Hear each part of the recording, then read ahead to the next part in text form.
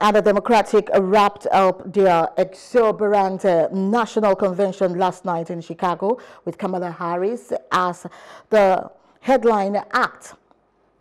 The Democratic presidential nominee delivered a speech that was meant to send a message that Democrats are about hope for the future and are confident that they can beat Republican Donald Trump. VOA's Carol Van Dam was there and has this report. I'm Carol Van Dam in Chicago, Illinois, where the big Democratic National Convention wrapped up last night with Kamala Harris, the Vice President of the United States, accepting her party's nomination. She kept her themes pretty simple and just kind of talked about how she thinks that Americans want a normal president and a normal future, and kind of contrasted herself with Republican nominee Donald Trump by saying things like, he, in many ways, is an unserious man, and but the consequences of having him back in the White House are extremely serious. That got a huge applause and it got people's attention.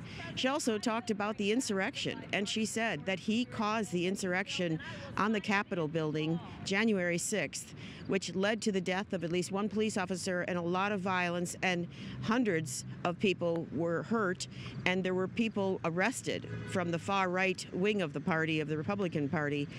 She also talked about how the Republican Party doesn't trust women. And she said it's hard to understand that, but we trust women. And we, she meant the Democrats. She talked about her family. She talked about her upbringing, which we heard about before in other speeches, but her middle class upbringing, she feels, is important because the Democrats are appealing to the middle class and they're saying, we're going to protect you. And she pointed out how she, as a prosecutor, had five words that got the attention of the audience when she said every day when she appeared in court and appeared before a judge, she said, I'm Kamala Harris for the people. That got the biggest round of applause for the whole night, I would say.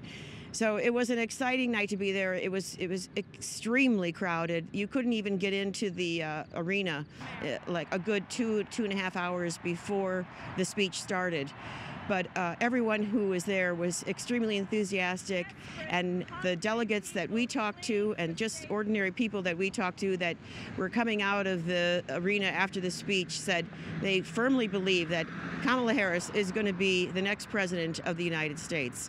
I'm Carol Van Dam in Chicago, Illinois.